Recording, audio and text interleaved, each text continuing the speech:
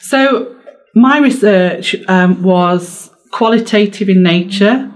My methodological approach was um, ethnography, and the aim of my research was to look at the operationalisation of revalidation within one um, NHS trust, focusing on how revalidation was operationalised within the organisation and how that compared with national guidance.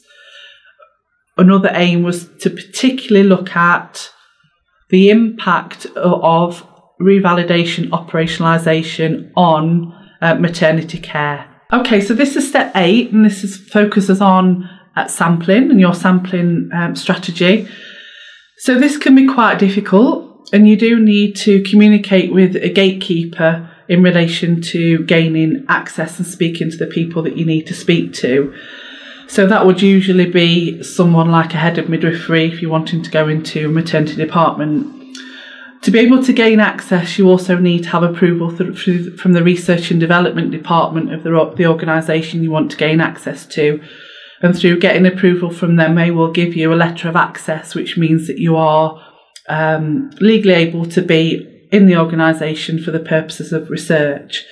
So you need to be very organised in approaching both the gatekeeper and the research development department about gaining access to make sure that this access isn't refused. So for my research, I took um, an opportunistic approach because I was going back to the organisation that I previously worked at as a Band 7 midwife. So on leaving the role to come and do a PhD, the head of midwifery was quite open to me going back to the organisation to do the research that I wanted to do because she was quite interested also. So that did help, but obviously that doesn't always happen. Uh, so you do need to make sure that by arranging for you to go to where you want to go, that you've got good relationships and that you can gain that access that you need to, to you, you need to gain.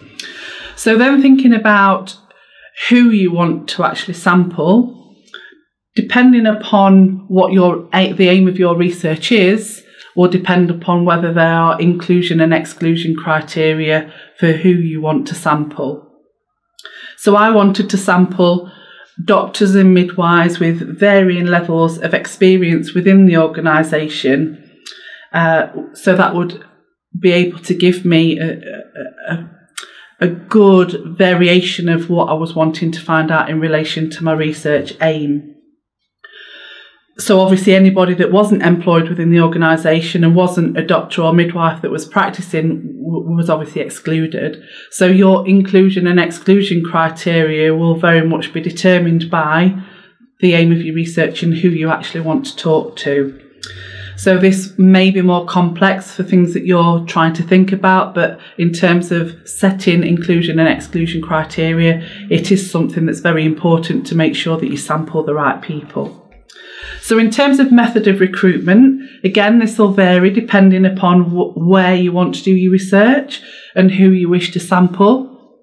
So, I used recruitment posters advertising the research that were put up in all staff areas so all the staff were aware of the research that I was actually going to do.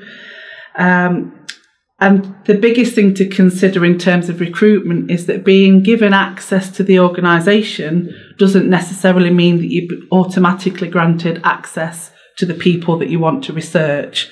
Because being granted access to go into a maternity unit that access has been granted through the gatekeeper, the head of midwifery, and the research and development department. The individuals that are working there on a daily basis haven't necessarily consented at that point to take part. So that is something that you do need to consider in terms of your recruitment, making sure that you've advertised the research so that they're aware of what's going on and that they can um, actively get involved.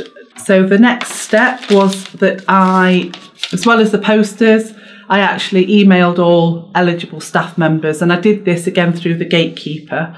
The head of midwifery was able to send out the email advertising the research with the participant information sheet attached to the email on my behalf. Because ethically, I wasn't able to have access to all our, all of the uh, email addresses of the staff members to be able to email the eligible people myself. So, obviously, thinking about ethics is really important. So, I asked everybody that was eligible to self select. So, they, I asked them to come to me either in person whilst I was there on the unit or to email me to let me know that they wanted to take part. Now, there was two elements of my research. It was observational and also I did interviews because I took an ethnographic approach um, in terms of methodology and used uh, both of those um, data collection tools that I'll talk a little bit more about at the next step. But they were asked to opt out of the observational part of the research if they didn't want to be involved in that. And they were asked to again self select if they wish to be interviewed. And I took written consent for anybody that wanted to get involved um, in an interview. So, as you can see, with all of that, ethics is really important, and you need to bear ethics in mind when um, you're recruiting and selecting your participants. So, in terms of sampling methods and numbers, Again, this is dictated by um, the aim of the research. And I, I didn't necessarily set a number of participants that I wanted to uh, recruit because that would, I knew that that would be dictated by uh, my uh, data analysis, which again I'll come to in, in a further step.